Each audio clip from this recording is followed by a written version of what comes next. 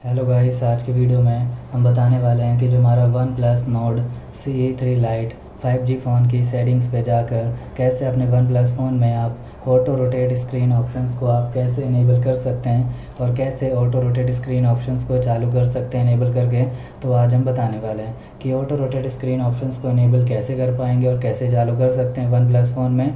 तो बताने वाले हैं तो वीडियो स्टार्ट कर लेते हैं। सिंपली देख सकते हैं आइकन शो हो रहे हैं। तो स्वाइप करना है। स्वाइप करते ही वाले आइकन ओपन हो जाएँगे।